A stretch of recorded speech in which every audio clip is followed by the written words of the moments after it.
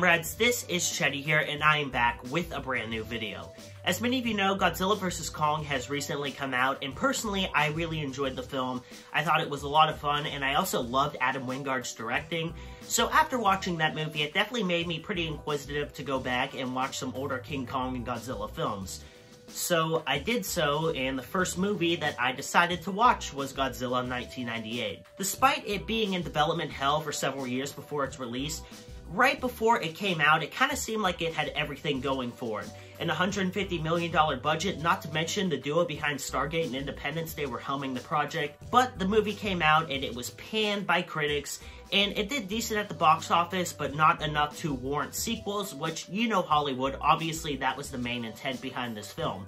And the main complaint regarding this movie is the actual look of Godzilla. It's just simply not Godzilla. In fact, in the film, I think it's supposed to be some iguana that somehow got big due to nuclear radiation.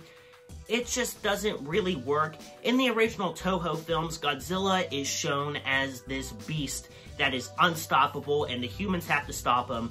But in this, the humans kind of dominate Godzilla. In fact, most of this film is him running away from them, when in reality, it should be him as this unstoppable force destroying a city, and they have to find a way to stop it.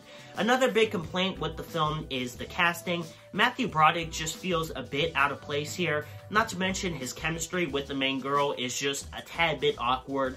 Towards the end of the film, I could kind of see how the two may become a couple, but it just didn't really work for the most part. And as much as I like Jean Reno, I don't understand the point of his character in this film.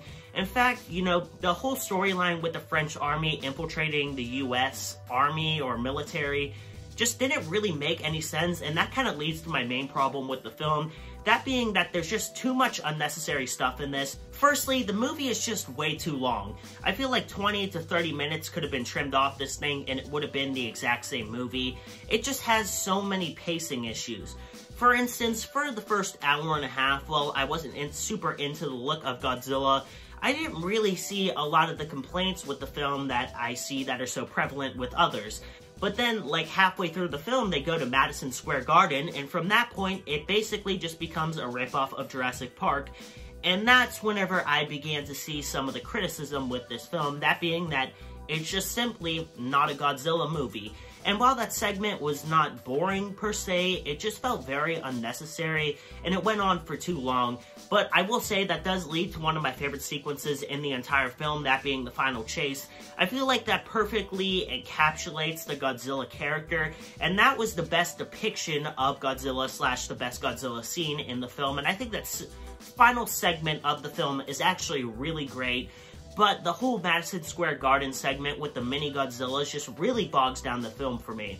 Although, I must say, I really like the use of practical effects in this, especially on that bridge scene whenever they get picked up by Godzilla. I think they could have easily used some pretty bad CGI, not to mention there is some pretty horrible CGI in this, but I really like the use of practical, but as I said, some of the special effects don't hold up. I do think for a 1998 film, some of the effects actually do look pretty decent, but there is certain shots in this movie that just look horrible.